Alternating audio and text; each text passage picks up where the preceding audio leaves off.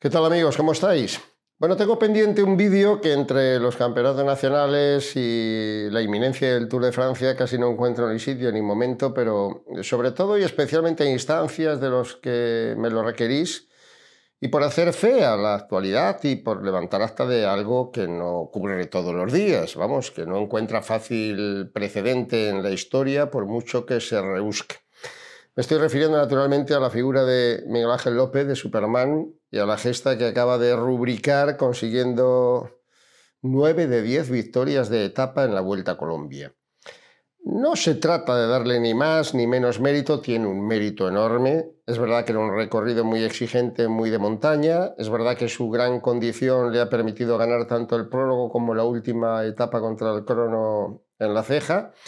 Y es verdad que salvo la etapa llana, pues ha conseguido la victoria en todas y cada una de ellas como consecuencia de la manifiesta superioridad que tiene sobre el resto de los corredores. A ver, es verdad también que estamos hablando de un ciclista que tendría que estar y además con honores en el World Tour por categoría, por caché, por clase, por resultados. Y que no olvidemos que se despidió el año pasado, sin ir más lejos, terminando cuarto en la Vuelta Ciclista de España por detrás de, de Enric Mas y de Juan Ayuso, un cuarto puesto que bueno, más o menos le situaba en esa trayectoria que a lo largo de los últimos ocho años de profesionales le han permitido alcanzar 25 victorias, puestos de honor, puestos de podio en las grandes vueltas, victorias parciales importantes y un largo etcétera. De, actuaciones sobre todo brillantes, descollantes, ¿no? porque es un corredor rompedor en alta montaña y porque es un ganador, fundamentalmente. ¿no? Esa fue la razón por la que en su momento, en aquella experiencia que salió negativa, lo fichó Movistar con quien no lo olvidemos, ¿eh? en 2021 consiguió cuatro victorias de etapa, la última en el Alto del Gamoneteiro, en Asturias, y que terminó como el Rosario de la Aurora. Ya sabéis cómo terminó, en aquella etapa que iba camino de Mos, en Galicia, y donde decidió bajarse cuando estaba perdiendo su posición de privilegio en el, en el podium de la clasificación general. No es momento, y me parecería absurdo además volver a insistir en las circunstancias que ocurrieron entonces, aunque sí es verdad que de aquellos polvos han venido otros lodos, ¿no? Los lodos de un cierto malestar, los lodos de, no sé si denominarlo ingratitud, porque la verdad es que también Movistar le tiene que agradecer eh, tanto más a, Miguel Ángel López, a Superman, que lo que Superman le pudiera agradecer a, Movistar, ¿no? Pero como aquella historia terminó mal y como sé que al final siempre se hace bandera de todas estas historias y que todo el mundo saca a relucir el patriotismo y Colombia y la madre patria y el equipo rival y el Movistar, etc., pues permitidme que no entre en ese juego. Porque creo que el análisis eh, que tenemos que hacer en estos momentos es esa pregunta, ese interrogante que alguien tiene que intentar responder, ¿no? ¿Qué pasa con Superman López? Bueno, la historia, la historia se remonta simplemente al final de la temporada pasada, ¿no? Miguel Ángel López no fue expulsado de alguna manera del equipo de la Astana a raíz de haberse abierto un expediente judicial con motivo de determinadas circunstancias, investigaciones, en fin, un caso abierto por la Guardia Civil en la investigación en torno a las sustancias dopantes en las que estaba de una manera o de otra involucrado Miguel Ángel López, ¿no? Que de momento el tema sigue, por un lado, subyúdice y por otro lado, extrayúdice, ¿eh? a la hora de la verdad. Bueno, se ha producido un retraso considerable tras las huelgas consecutivas que se están produciendo en los letrados de la Administración de Justicia, en los secretarios judiciales en nuestro país, y eso está postergando incluso más de lo que ya suele ser habitualmente lento el veredicto final en torno a un caso que está abierto de resultas de unas investigaciones en las que, repito, y no se trata de emplear el adjetivo exacto ahora tan de moda, en la que está investigado Miguel Ángel López. Si está encausado o no, lo tendrá que decir su señoría y si hay alguna culpabilidad en el corredor, también lo tendrán que decir los jueces encargados de dictar sentencia. Es verdad que desde ese punto de vista alguien dirá, vamos a ver, ¿y por qué no corre mientras no esté acusado? Mientras, bueno, pues ese es el gran dilema, ese es el gran interrogante que el ciclismo no acaba de despejar. A liado un poco entre una historia por buscar el precedente y la otra, y quería hacer especial mención, como es lógico, de la Vuelta a Colombia, de las victorias logradas por eh, Miguel Ángel López y de la demostración de que está en un momento de forma fantástico, que es un gran corredor, no lo tiene que demostrar a estas alturas y que es una verdadera pena que no pueda estar corriendo las grandes pruebas del World Tour. ¿no? Corrió al comienzo de la temporada el Tour de San Juan y luego ya ha tenido que dedicarse a pruebas menores, fundamentalmente en el continente americano, ¿no? Suma 19 victorias, muchas victorias, cinco más que Tadej Pogacar, ¿no? Pero bueno, tampoco voy a entrar en ese apartado. Es lógico que, que Superman gane con enorme facilidad, porque es muy superior al resto y porque los buenos ciclistas colombianos pues están corriendo el World Tour y en los equipos europeos. Verdad es que a ellos les ganó precisamente también el Campeonato Nacional de Colombia al comienzo de la temporada. Pero bueno, ratificando su gran condición, demostrando que no se ha venido abajo y que sigue siendo un corredor notable, notabilísimo, uno de los mejores escaladores, da pena. Da pena más allá de la injusticia que pueda provocar el caso, que la injusticia es la consecuencia de las circunstancias que coincidieron en el momento. A ver, ¿alguna vez habéis preguntado? Son los equipos de la Unión Ciclista Internacional los que no quieren contratar a Miguel Ángel López como pasa con Nairo Quintana.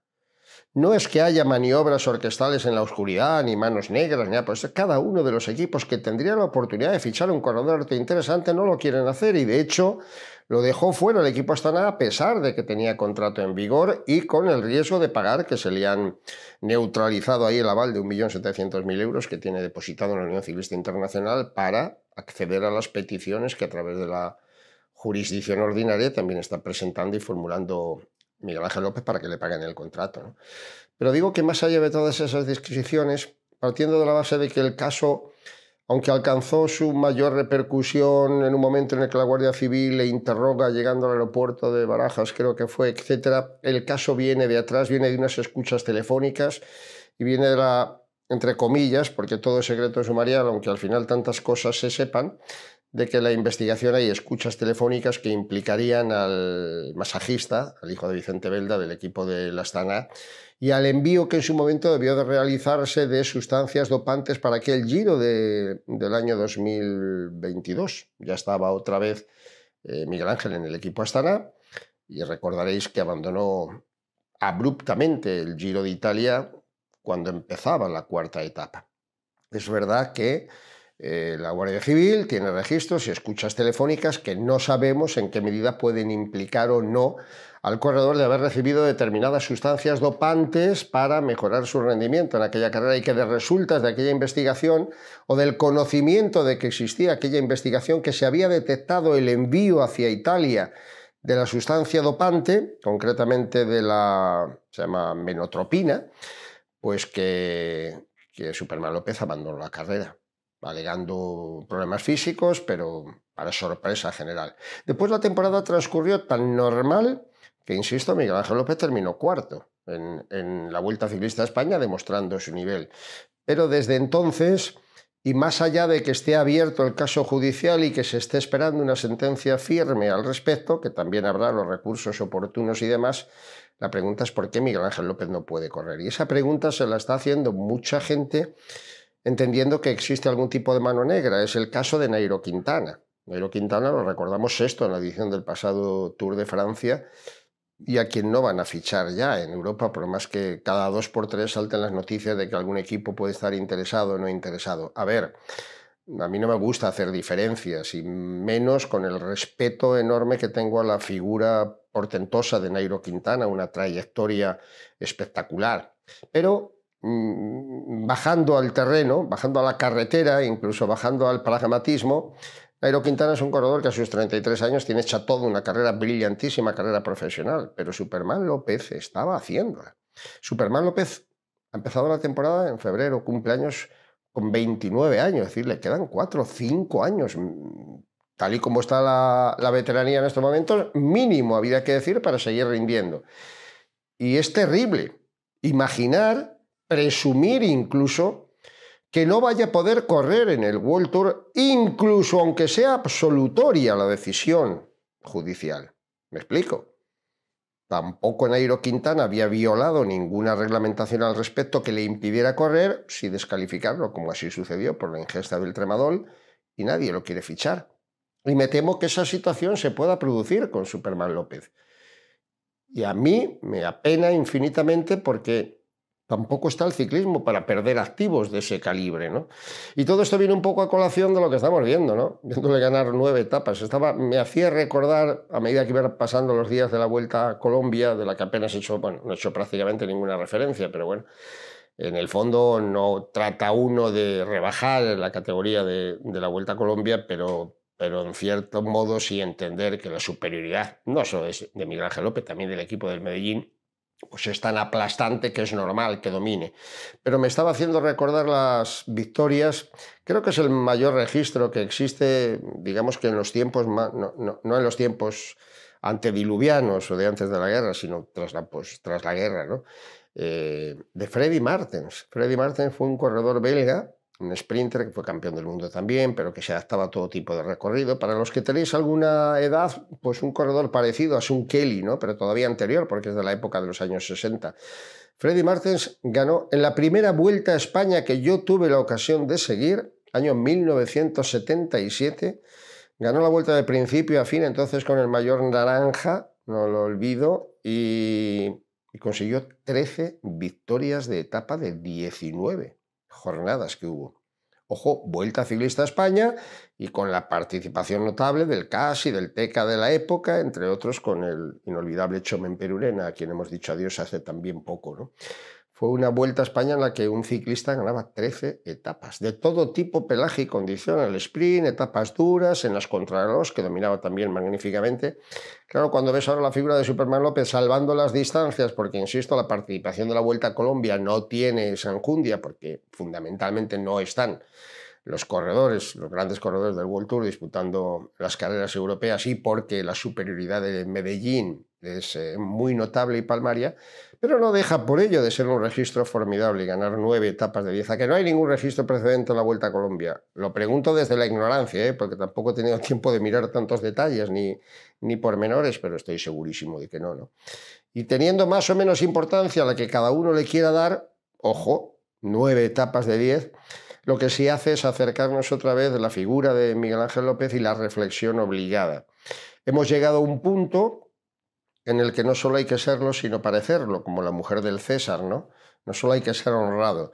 Nadie dice si Miguel Ángel López ha caído en culpa, lo tendrán que decir los jueces. Lo que sí parece ya escrito es que aunque no haya sentencias en contra, más allá de que luego hasta ahora le tenga que pagar o no la ficha convenida, va a ser muy difícil que ningún equipo profesional firme a Superman López. Y esa es una desgracia para el ciclismo. Primero por lo que supone de injusticia y segundo por la impotencia del propio corredor. Es verdad que es un aviso para navegantes, para que nadie ande en aguas procelosas, pero no es menos cierto que la historia del ciclismo está plagada de casos de positivos, de corredores que en un momento determinado cumplieron su sanción y aquí paz y después gloria, nadie les permitió, les impidió eh, continuar con el ejercicio de su profesión. Y ahora está ocurriendo.